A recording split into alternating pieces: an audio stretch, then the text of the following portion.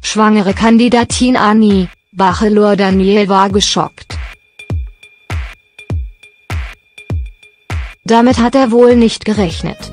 Es ist endlich soweit, Daniel Wülz macht sich bei der Bachelor auf die Suche nach seiner Traumfrau.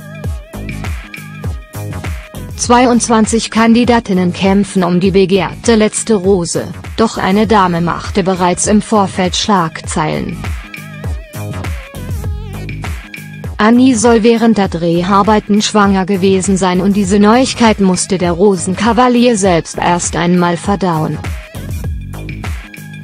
Ich wusste davon nichts und sie ja, glaube ich, auch nicht. Ein Schock ist es auf jeden Fall gewesen, verriet der gut aussehende Singlemann jetzt im Promiflash-Interview. Hat Annie also auch erst nach Drehschluss von der Schwangerschaft erfahren? Die blonde Münchnerin war Berichten zufolge angeblich bereits zu Beginn der Aufnahmen im dritten Monat. Wie selbst betont, käme er damit als Vater ja auf keinen Fall in Frage.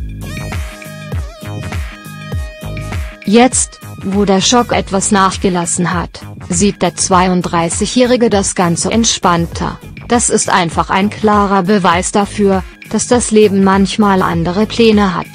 Ob es vielleicht zwischen den beiden gefunkt hat, behält der Hottie aber noch für sich.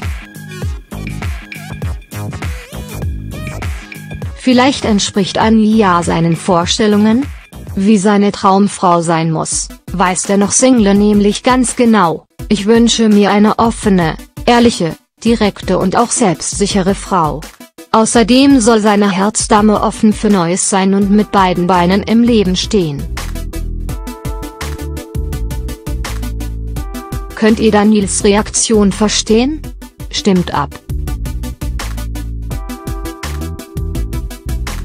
Alle Infos zu der Bachelor im Spezial bei rtl.de